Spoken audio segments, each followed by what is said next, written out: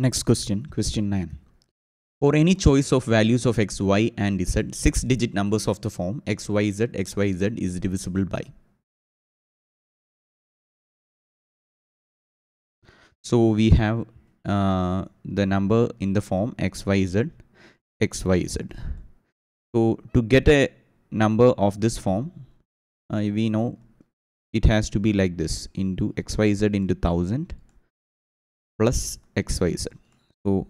if you do this you get xyz xyz so xyz into 1000 is nothing but xyz into 30 so plus xyz if you add xyz you get xyz xyz that's why we can split this into this form and if you take xyz common we get 1000 plus 1 or xyz into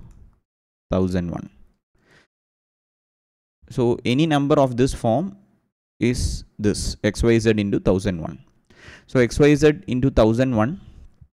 uh, if you see 1001 uh, you can easily see the it is symmetric and it is divisible by 11 so 1001 divisible by 11 is 11 uh, you take 99 uh, 11 1 91 91 11 into 91 and 91 is again if you see 11 we have 7 and 13 here. So 91 is nothing but if you see 13 into 7 13 into 7 is uh, 21 to 91 so 91 is uh, 13 into 7 so 1001 is uh, if you, xyz into 1001 is also can also be written as xyz into uh, 11 into 13 into 7 so no matter what value xyz takes this number will be divisible by 11 13 and 7 since this number is nothing but xyz into 11 into 13 into 7 so for the for this question